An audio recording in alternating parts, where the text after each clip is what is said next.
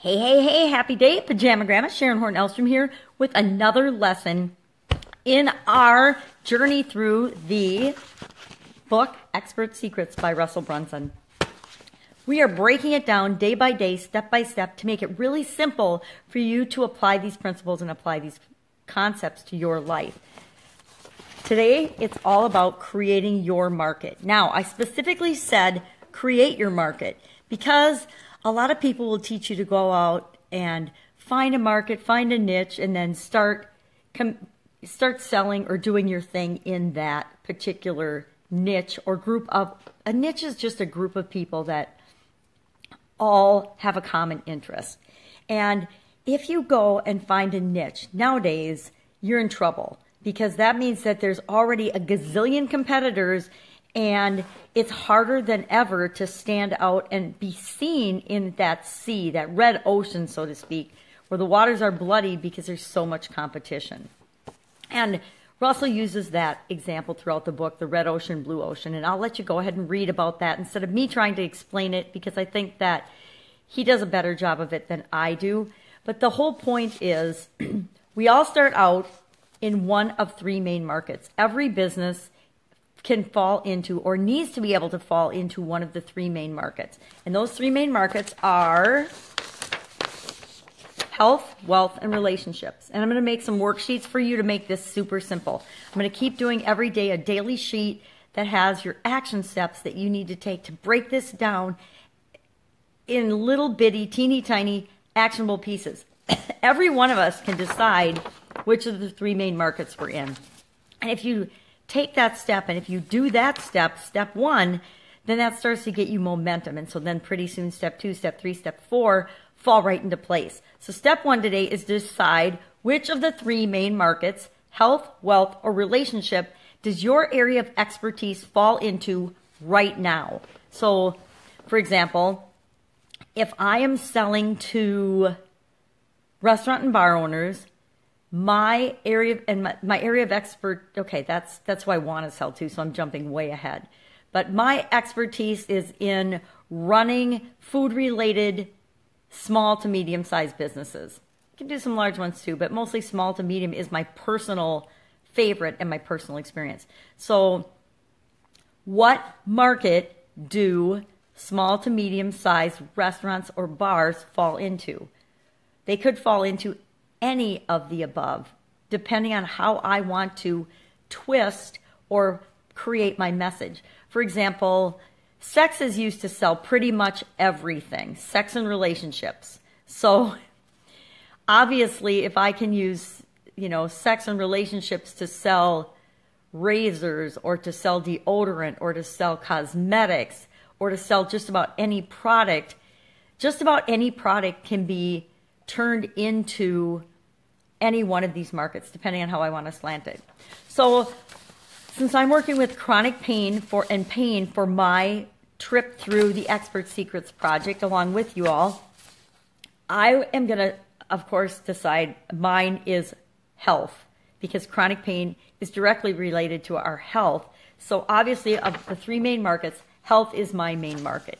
So, decide whatever it is that you've decided or are thinking about. You don't even have to decide yet because I'll tell you what, we change our minds as we go through this process. I went through the entire process with chronic pain, and now I'm working through it again, and I'm actually refining and changing my mind in terms of who I want to talk to and how I'm going to speak with them as part of going through this process again. So the first step is to pick your main market, the, one of the three main markets that you're going to go after. The next step each of these three main markets has got, I think, I think that Russell says dozens or a dozen submarkets, but I honestly think there's more submarkets than that nowadays. As the internet becomes more sophisticated, as buyers become more sophisticated, the markets tend to segment more and more and more because everybody is trying to carve out their own little piece of the pie within this whole um, ecosystem because the internet marketing world is an ecosystem in and of itself.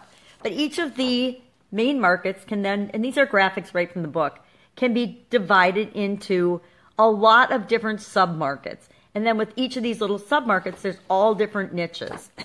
And our goal and our objective. So your second step is going to be to decide which of the submarkets you're in. So for example, I said I'm going to be in health.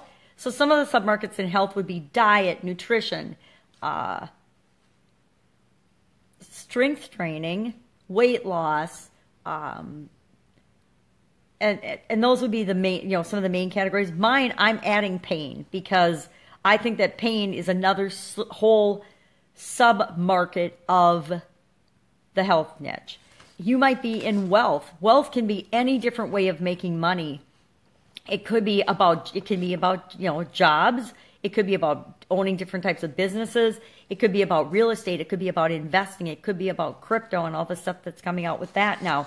But those would be the submarkets. And then each of those submarkets has a whole bunch of little niches associated with it. But the step two, step one, which the three big markets do you want to approach your area of expertise in? Or which area of expertise, which area does your expertise currently fall into? What makes the most logical sense? And then step two, which of the submarkets am I wanting to address? Am I going to go in? Now, I personally have experience in all three of these markets and a lot of these different submarkets. I could actually go out and I could do a real estate course. I could do a real estate course. Actually, as a matter of fact, I did do a real estate course back about eight years ago. And the submar- so the submarket was real estate for making money. So it would have been wealth, real estate, and then my submarket was and niche was actually foreclosures and short sale negotiations. Um, and that would be refined down even more today, but that's what it was eight years ago. So then step three is we want to carve out our space in that ecosystem. We need to decide what our little piece of the world is going to be. And there's a couple of things that are really important when we're working with this part of our decision making process. Tomorrow I'll go ahead and like fix these ahead of time so that I don't have to do such a bad job with my graphics. And I know they show up backwards, but I'm just recording the message here. And then in your homework section, I will go ahead and put the homework sheet so it makes a lot more sense. So again, another diagram from the book. You've got the, one of the three main markets, your submarket, and then all of these different niches. And you want to create your own blue ocean or your own unique special niche. And we go about that in different ways, but we do it for a really specific reason. Number one, if we carve out our own niche, we are creating a place where we don't have to compete with a whole bunch of other people.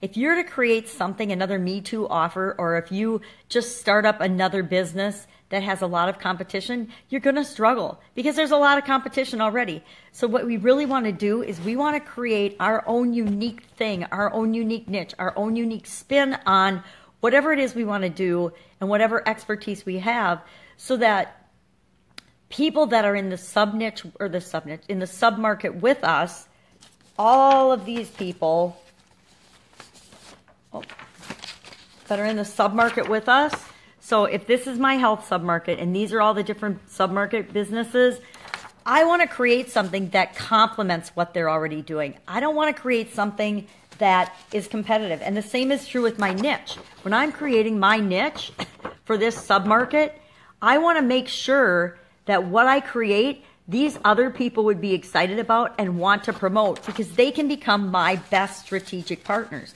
So, for example, if my niche is if I'm health, pain, chronic pain, I think it has to go down one more category now. So I'm breaking it down one more because I just did it before when I went through. I did pain and then chronic pain was my niche. And chronic pain in and of itself is really a submarket and it's a gigantic submarket. So this time as I'm going through, chronic pain would be my sub submarket. And I have to ask myself as I'm creating the different, as I brainstorm out all the different niches for chronic pain, would the other people and the other people providing services to people with chronic pain, the other niches, would they be? I'm going to ask a whole bunch of questions about it, but can I create something that is complementary to them and not competing with them? Now, my thing is creating a chronic pain protocol, a strategic, personalized chronic pain protocol for each person that has chronic pain. Well, the reason that's pretty cool is number one, there isn't one that really exists for people. And number two, that opens up the opportunity for all of the different things that are in that protocol me to partner with different service providers, different modalities, different experts in those areas, and then send my people that are doing their plan to those experts in those areas so that they can provide services. So it's win win for everybody. I just provide the framework, and they have the ability to actually fulfill on that framework. And so I know that I, am pretty confident that they'll be excited. Actually, I've already been interviewing them on my podcast. So I know that they'll be excited to have a platform that doesn't compete with them, that actually encourages people to seek them out and provide them with more business. So the first thing we do, again, is we identify what we want our niche to be. And then we start asking questions about that niche. Because my niche was originally something very different and it did compete with other people in the market. And so that didn't work for me. But as I ask myself these questions and I go through the process of they're, in there in the book, but I'm going to create a worksheet for us. It helps us to hone in on what it is exactly that we want to provide. So, for example, um, as we're looking at our submarket, you know, my hot market is wealth, my submarket is real estate, and my niche is flipping houses on eBay. That's one of the examples that Russell gives in the book. And there again, I think that you might have to refine that even more because I suspect that at this point, there's a whole bunch of people offering how to flip houses on eBay. Now, I didn't go look that up and I'm not going to. You can if you want. But I suspect the way the markets continue to evolve and develop is that people have moved into that.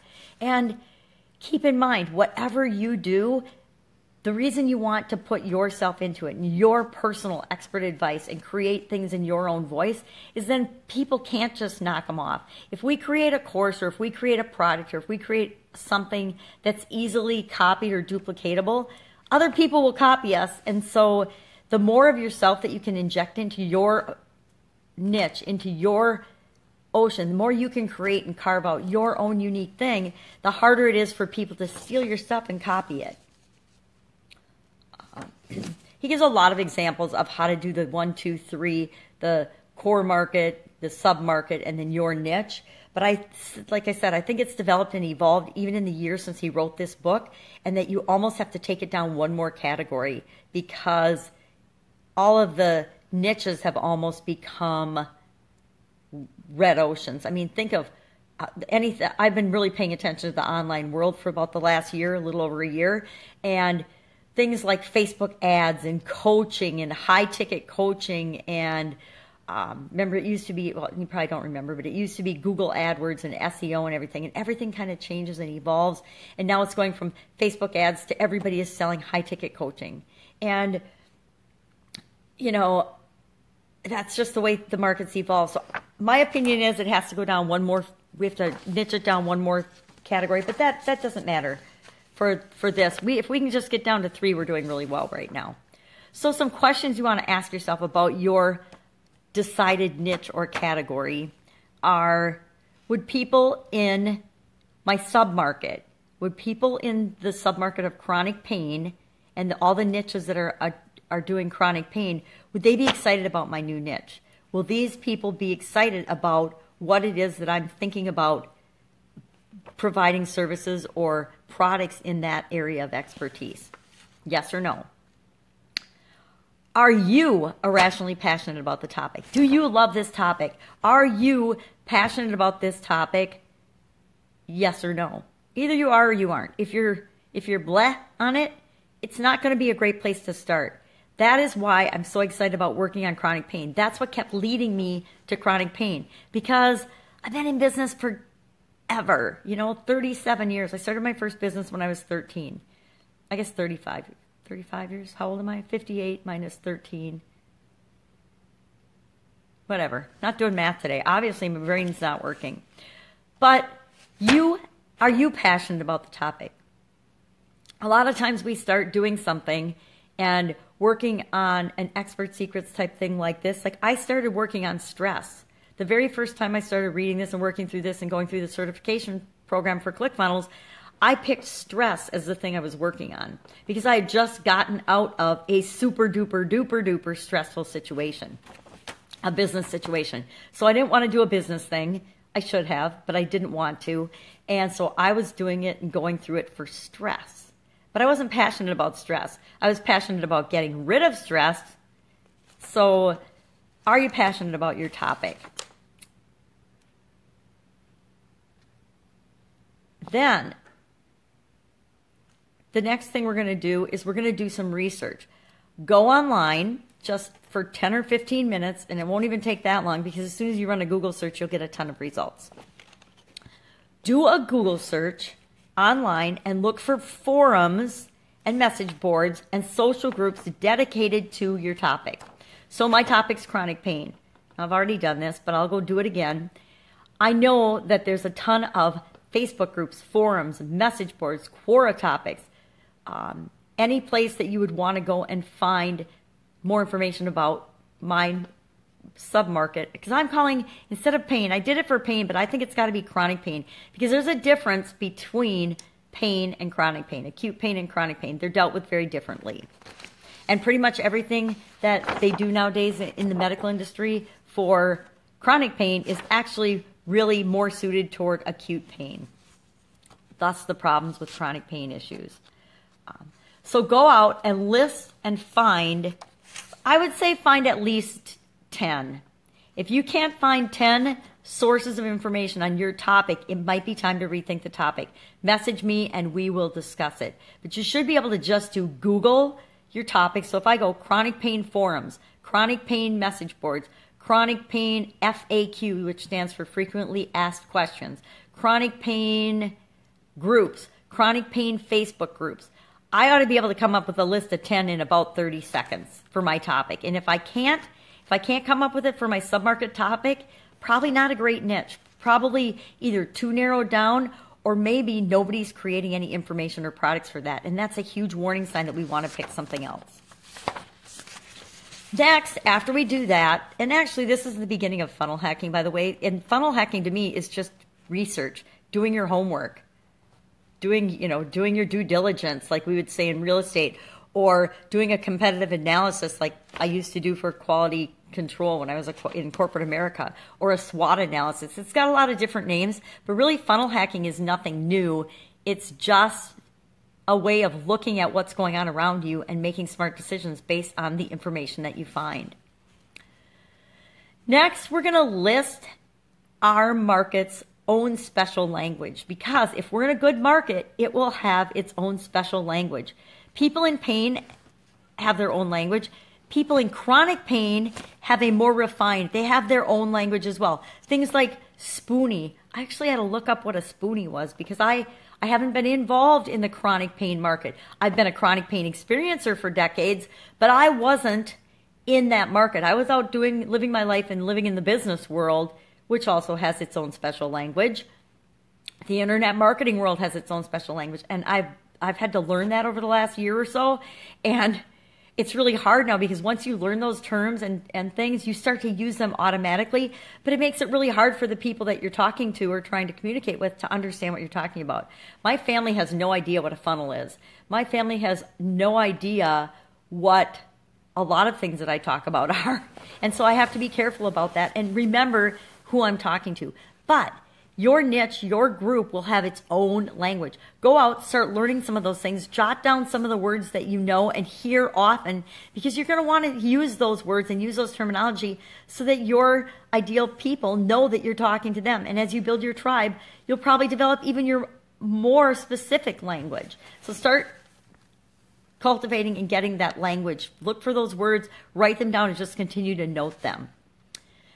Then notice if there's any events held in your specific market.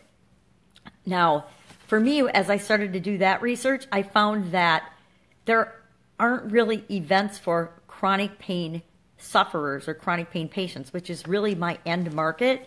And I might have to step back and actually look for events for the service providers for people with chronic pain. And that might be how I have to reach out to reach those people because or I might have to create some events. I'm actually kind of excited about the idea of creating events for people with chronic pain.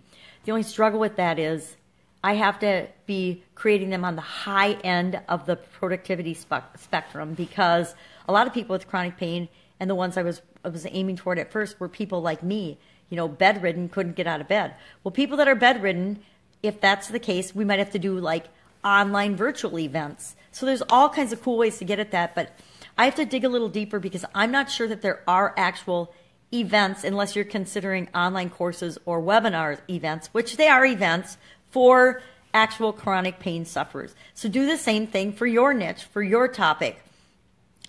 Go out and find out are there events held, physical events? Are there virtual events? A lot of topics have virtual summits. Almost every topic you can imagine nowadays has a virtual summit or a group that does uh, podcasting and interviews for and then produces virtual summits or virtual events. So start listening and finding out what and where those are. Take a look at a couple of them, go to a couple of them, buy into a couple of them. I bought into to dozens of different virtual events as I was going through my personal development phase, which I'm always in because once you start personal development, I think that it's a lifelong process. Maybe not for everybody, it has been for me. I am a lifelong work in progress. So look and find out what kind of events are available for your specific, the customers you want to get at, and also the providers of the services of the customers that you want to reach. Because those can be your strategic partners. You can advertise at those events. You don't even have to put the events on yourself. You can just be a participant or a sponsor or an advertiser at a lot of events. That's another reason you want to start looking for them and researching. Then we're going to look for all of the markets and the submarkets, celebrities and gurus if your market's a pretty good market, it's going to have people that are already celebrities or gurus or specialists or teaching on other topics in that market. So start finding and listing them out because they're going to become part of your Dream 100. We're going to talk about something called the Dream 100 later, and I will tell you it is the most powerful strategy to achieve anything you want in life, any goal, any objective, and especially when it comes to building businesses and getting your message out. So start listing who those experts are. Find those experts and list who they are.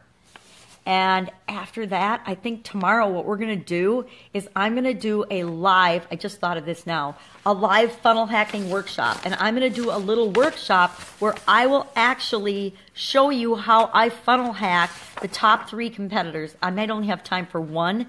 So maybe my top competitor for my market. That'll be lesson six. I'm going to do an actual funnel hack for one of my competitors. That's exactly what I'm going to do. So stay tuned. I'm going to do a funnel hack for my competitors. It's going to be somebody in chronic pain.